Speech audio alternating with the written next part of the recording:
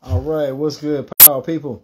This is the Power Living Purposeful po- podcast with David C. Henderson, and this is the health and fitness tip of the week. All right, this week's tip is called Flu Free Holiday Shopping Part 1.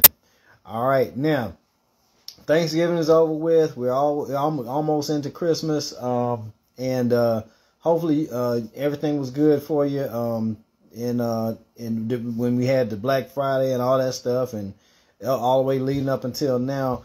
Um, but um, we're still a couple, uh, what about ten days away from Christmas, and uh, basically, what you want to do when you get out there, if you're going the old-fashioned way to these stores, you need to be careful because there's still a lot of stuff going on out there. Still got, still got some COVID. You got some RSV. You got some may still have some monkeypox floating around. I think they're supposed to just call it mpox now or something like that.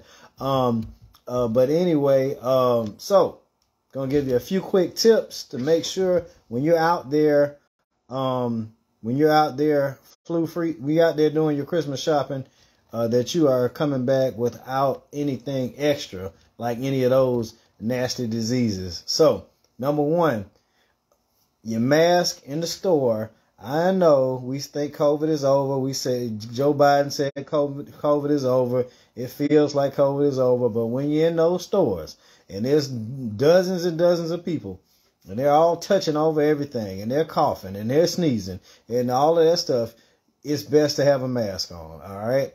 Um, it's really, yeah, it's best to still have one on this holiday season. Hopefully this will be the last year we have to deal with masks and gloves. Now, um, uh, well, yeah, mat and all that stuff. Now, next one is gloves. All right, so when these people are picking up everything, putting it down, looking at this. Oh, Susan would love this. Oh, this would be so nice. Oh yeah. Oh yeah. Oh yeah. Uh, my, oh my boy, what's name? He'll like this. This will it'll be perfect. These people are putting picking stuff up, putting it down. You don't know what's on their hands. You don't know if they're clean. They're probably not. And um, so uh, you can. I mean, you can wear uh, the disposable gloves in the store, but it's wintertime. Just put on some regular warm gloves, some regular cotton or um or or uh, leather gloves. That'll still keep your hands um covered. All right, and you can actually sanitize um if the gloves are um if, depend on the, the type of glove. You can take some sanitizer and rub it onto the out to the gloves while you still have the gloves on your uh, on your hands, and um, uh, of course, you're not going to soak it in it, but you can, you know, just a small amount. Sanitize your gloves when you get back to the car, and you keep your gloves on. All right, now um, booster shots. Now, um, in addition, now uh, at this point, now in 2020, we believe that uh, what do we believe? We believe that um, COVID was caused by 5G antennas. Uh, we call believe that what the COVID vaccine would cause your nose to fall off or your you know, or you, are going, uh, what you're going, all kind of stuff. Um, yeah, you, you take the vaccine, you know, we had all these anti-vaccine crazy things. So at this point, a lot of those, unfortunately, a lot of those people, those anti-vaxxers, uh, they, they actually died during the pandemic. Unfortunately, you know, rest in peace. Sorry. But, um, the, at this point, it, it, it should not be not any question whatsoever whether I wonder if that COVID vaccine is safe you know, are, are all your friends still alive who took the shot? Yeah, pretty much. So, um, if you if you if you uh, haven't got your booster shots now, I know I think supposed if you're over 55, I think those are the ones who are more eligible. I think under 55, they said we're not eligible. So if you're over uh, the age that you're supposed to get one, go ahead and get another one if you can. Uh, it's still going around. People still catching it, and people are still dying from COVID. Um, terms of a flu shot, if you uh, if you get a flu shot every year, then you uh, should keep on getting one. Um, is what the recommendations are. All right. Um, now, the um, let's see. Now we we um, had a lower flu season last year because everybody was wearing masks. Um, so it's a, it's a catch twenty two. Either we're gonna have uh, natural immunity or we're gonna um, not catch COVID. I, am glad that uh, most people chose to wear a mask and not catch COVID. All right, our immune systems will get back used to the regular seasonal flu. Um, so um, now The other, next thing is understanding the cold to warm balance. Um, about a month ago, I did a health tip that talked about, uh, well, I guess, yeah, about a month ago, the health tip that said the health benefits of co- brief cold exposure.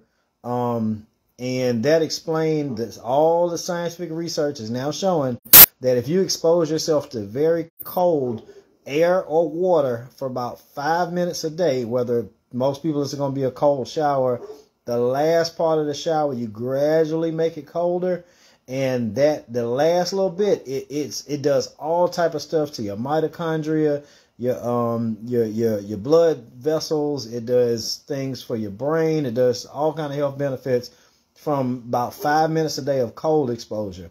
All right, um, but you don't need to be just constantly going from cold to hot, cold to hot, cold to hot, in the car, out of the car, in the car. So you want to be bundled up and stay warm when you're out and about. Now, uh, you only want to do that cold, either that five minute last part of the shower cold, or uh, going out first thing in the morning cold, or rolling down the windows cold. Other than that, you want to stay warm. Now, um, next two, last two things, uh, cover your head. All right, especially if you um, don't have anything on top like me. Um, but uh, even if you do have a lot of hair, um, you still um, it's still better to cover your head because um, it, that's where your the uh, heat can escape. Uh, heat, the heat can escape from. Now, if you got a whole lot of hair that's up and about and around, that might be different. But if you got long hair where it goes down, like for women, that's not the same as an afro that's up and covering. All right. So uh, either way it goes, uh, it's still best to cover your head with a hat and um, preferably a skull cap that covers your ears. Now, if you don't cover your head, at least cover your ears with um, a head wrap or um, earmuffs. If people still wear earmuffs, I, I don't know. Depends uh, if that's the trend. I don't know.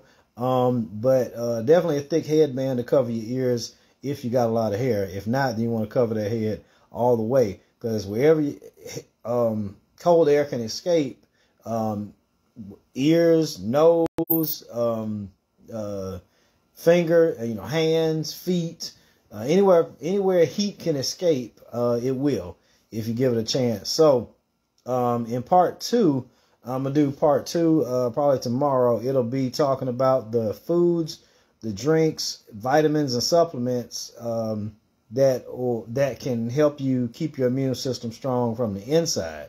Um, and um, so to re to just to, to recap um, of the the way to go flu free shopping. Part one: masks. Mask. Go ahead and mask up when you're inside.